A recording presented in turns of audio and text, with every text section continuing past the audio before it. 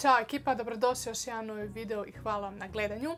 Danas ću vam pokazati šta sam to kupila u proteklih tjedan, dva, pa ako vas zanima onda nastavite gledati. Krenut ćemo prvo dekorative, nekako mislim da vas to najviše zanima. Uh, ovaj proizvod nije novost, već sam ga koristila, ali sam ga sada morala kupiti u drugoj nijansi zato što više nisam onako tamna ko što sam bila, ali dosta mi je više miksanja pudera, pa sam se zaletila u Miller i kupila odgovarajući nijansu. To je znači L'Oreal Infallible 24 Hours Fresh Wear puder.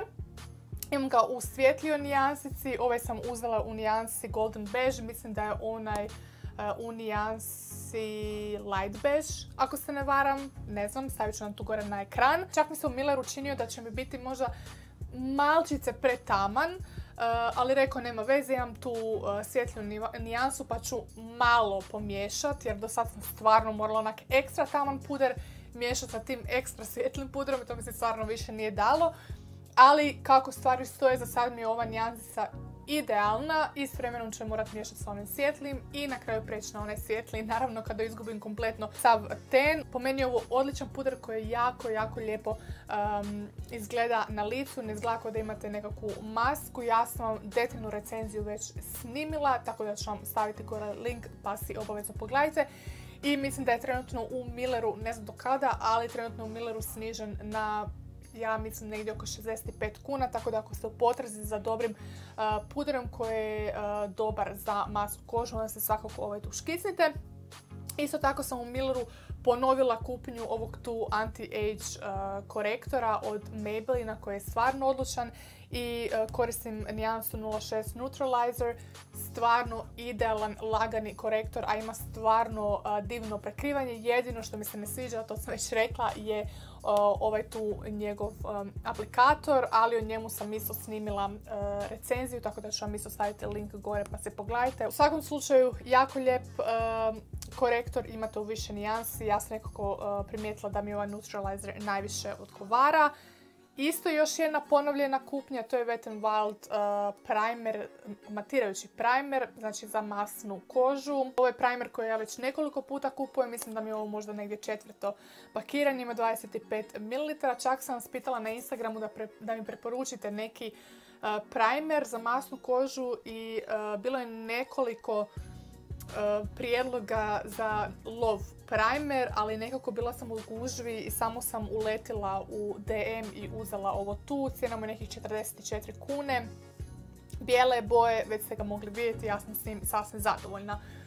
Isto sam vas na Instagramu bila pitala da mi preporučite vaš idealan nude ruž i najviše glasova su dobili Essence e, ruževi iz kolekcije This Is Me. Tako da sam ja otišla u Miller i uzela sam si e, dva ruža. E, našla sam u nijansi 3 i 5. Vi ste mi najviše preporučili 3, 5 i 9 znači nijansu, ali ja devetku nisam nigdje mogla naći. Tražila sam u Milleru, tražila sam u Demu, najveći broj bio 7. Tako da ako znate gdje postoji cijele, znači cijeli niz tih uh, nijansi iz ove kolekcije, pišite mi jer stvarno bih htjela vidjeti tu uh, devetku. Uh, pakiranje im je ovako, znači bijelo, dolje imaju zlatni čep. Meni se sviđa, jedino mislim da bi se ovo pakiranje moglo lako zmazati, ali nema veze. Ovo je znači trojka. Ovo vam nisu kompletno mat ruževi, nego onako semi met ruževi imaju jako lijep, baš onako ugodan uh, miris i ovo je znači gdje se smi trojka u nijansi Bold. Jako su mekani, jako su ugodni na usnama, jako se lako nadograđivaju. Ja imam sada 0 trojku na usnama i pomiješala sam ga sa ovom tu od Essensa uh, 06 Satin Moave, to je meni jedno od najdražih Essence uh, olovke. Njega, sam znači pomiješala danas tom olovkom i stalno, stvarno predivno izgleda i ovo mi je sad najdraža kombinacija, tako da svakom ko mi je preporučio ovu 0.3 hvala vam do neba. Zatim sam uzela 0.5, to je u nijansi Legendary. U Milleru mi se učinila ova nijansa malo više toplija i učinila mi se kao da bi mogla biti dupe za Essence Rouge, ako ga se sjećate, sto put sam o njemu pričala Isto sam ga miješala s ovom ulovkom. Skroz je bilo onako smeđe pakiranje, bila je isto nula trojka, ali ne mogu se sad sjetiti kako se zvala nijanse, njih nema, izašli su za sortimana jer jako mi je žao radi toga. Formula je bila jako slična ovome ružu i boja je bila jako slična ovome, znači ovoj 0,5, ali je bila ipak malkice toplija nijansa. Znači, kao što sam rekla, učinila mi se da ova nijansa um, ista ta, ali nažalost nije. Na mojim usnama ova nijansa prehladna, ja se nisam navikla imati tako hladan um, ruž na usnama. Nisam imala nikad od Golden Rose desetku, ali čini mi se ko da bi ova nijansica mogla biti dosta slična toj desetki, tako da ako volite desetku, svakako čekirajte ovaj tu ruž. Definitivno ću mu dati još šanse, isprobat ću ga sa nekakvim toplim olovkama. Uh, ali eto, vidjet ćemo. Čak sam ga neki dan stavila, znači malo na ovaj ruž, pomiješala sam te dvije nijanse i stvarno je lijepo izgledalo, ali da ga nosim samoga prehladan mi je. Pišite mi obavezno dolje gdje mogu naći uh, devetku jer me jako interesira. Sa dekorativom smo gotovi pa prelazimo na preparativu. Od preparativa imam zapravo za pokazati ovaj The Ritual of Dao set apsolutno je predivan. Ja sam ga uh, ugrabila na akciji, bio je snižen na 111 kuna. Ovi setovi su vam odlični ako trebate nekome nešto kupiti uh, za poklon, bilo rođendan, bilo da sad ugrabite na akciji pa uh, čekate za Božić. Uglavnom ja sam ovo sebi kupila zato što stvarno obožavam taj dao miris. jako mi, baš mi paše, jako relaksirajuće utječe na mene. E, kada maknemo ovo, imate ovu tu vrpcu, stvarno elegantno, onak i skupo izgleda i imate ovu tu karticu gdje možete napisati, znači ako nekom kupujete kao poklon, za koga je taj poklon. Sada ćemo ovo tu maknut. Ovo će biti mali e, unboxing uh, ritual seta, znači ovo stvarno predivno izgleda ovo E, zlatno i ovu kuticu ću si obavezno ostaviti pa ću unutra čuvati nekakve stvarčice jer stvarno je kvalitetna i tvrda i stvarno predivno izgleda. Sada kada skinemo ovaj poklopac, unutra se nalaze stvarčice. I da vidimo šta se unutra dolazi. Iskreno nisam detaljno ni proučila. Vidjela sam da je nekakav peeling, da je krema, ali ajmo vidjeti. Znači kada otvorite kutiju toliko vas um, zapuhne taj predivan miris uh, te kolekcije, da, da mi je to stvarno predivno. Već sam pričala uh, da ovaj tu dao miris ja koristim uh, da pošpricam po jastuku jer onako baš je umirujući stvarno ga obožavam. Evo ga, imamo znači uh, shower gel, foaming shower gel. Dobije se 50 ml što je čisto ok ili za putovanje ili ako se želite upoznati s proizvodima pa želite prvo manje pakiranje. Ja sam već imala veliko pakiranje ovog tu proizvoda i stvarno je predivan miris. E, miris jako dugo zadržava na koži i koža vam je jako mekana nakon ovog tako da sam stvarno zadovoljna. I ova Ritual of Dao kolekcija vam je zapravo miris um, bijelog lotusa i irena. Ja sam već uh, snimila jedan Rituals haul gdje sam vam um, napisala E, neke od rituala, znači koje mirise sadržavaju ko, i šta su zapravo neke od mirisa, kao primjer i Iren, ja nisam znala šta je i Iren, pa sam u tom videu napisala, isto ću vam staviti gore link, s ovim sam jako, jako zadovoljna i da čekam da to počnem koristiti. Zatim drugi proizvod je Body Scrub, znate da obožavam ove peelinge, to je znači Mindful Body Scrub i isto ima znači White Lotus i Iren 70 ml ovo su stvarno jako dobre količine. Ja sam iskreno mislila da će biti količine negdje oko 30 ml, tako da sam sad stvarno jako pozitivno e, iznenađena kada vidim da su stvarno veće količine. Da, miris je predivan. Da vidimo mrvicu na ruku da stavimo da vidimo kakav će biti e, scrub. Uh, scrub je znači bijele boje i zrnca su po gruboći, ja bih rekla negdje srednje gruba. Tako da oni koji uh, vole blage ili tako srednje uh, jake pilinge, ono srednje grube pilinge s ovim će biti zadovoljni. Nije, na primjer, ko hamam. Hamam je baš uh, grubi piling, tako da njega neće svi voljeti. Iako je miris hamama stvarno onako sa, sa eukaliptisom, sa eukaliptisom stvarno usežavajuć, ali je grub je piling, tako da ovo idealno. Zatim, Zatim se nalazi uh, krema za tijelo, isto 70 ml. Stvarno odlično. Ajmo malo staviti da vidimo. Isto je znači bijele teksture, da vidimo kako se razmazuje.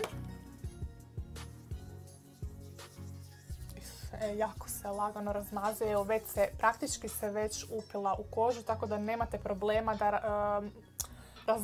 razmazujete, sto glavnih godina, što se zna dogoditi s nekim kremama, nije uopće ljepljivo, fino se upilo, a opet je glatka koža.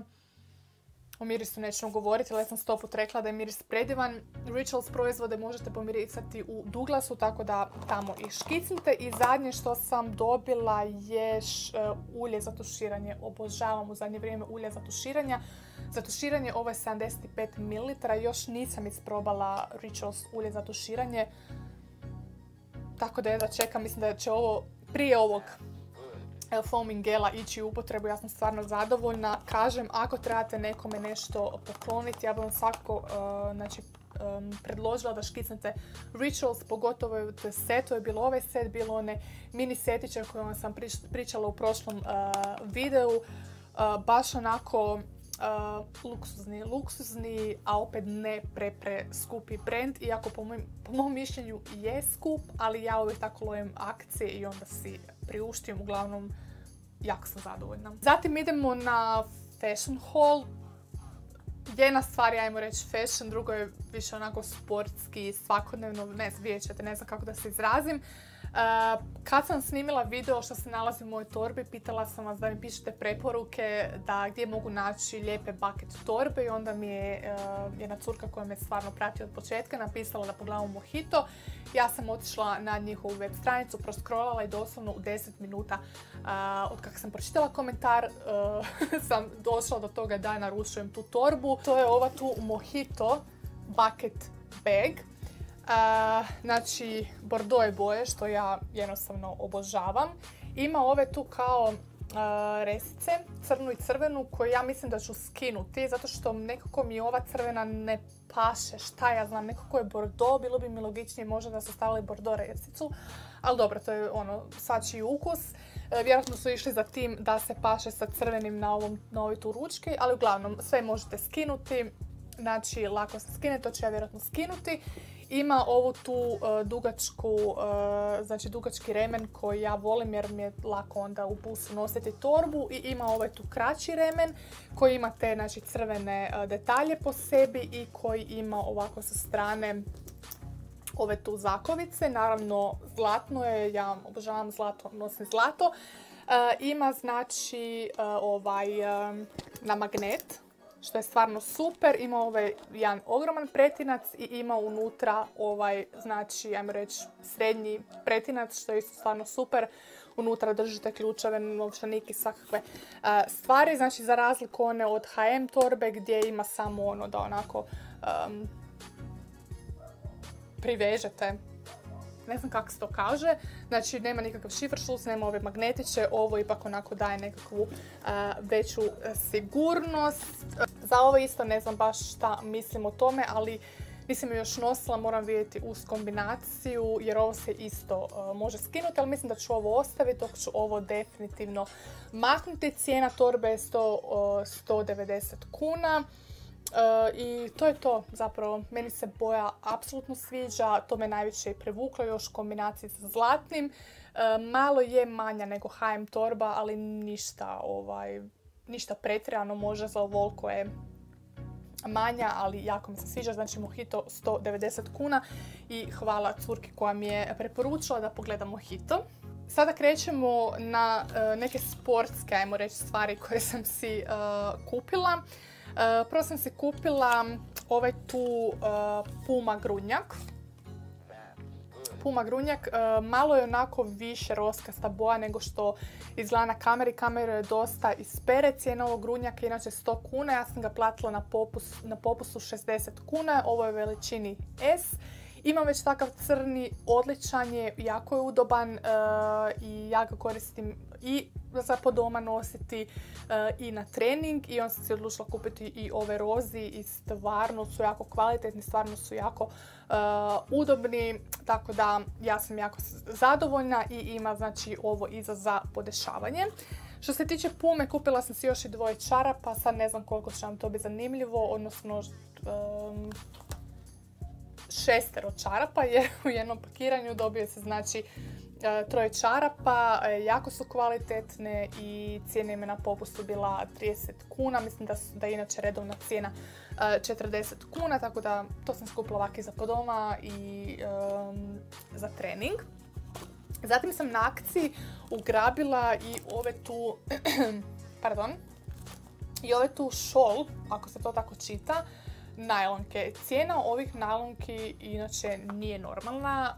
E, cijena je 130 kuna. Kad sam to vidjela, pala sam na guzicu, rekao nema teoretske šanse. Ali sam ih ja uhvatila na akciji za 30 kuna.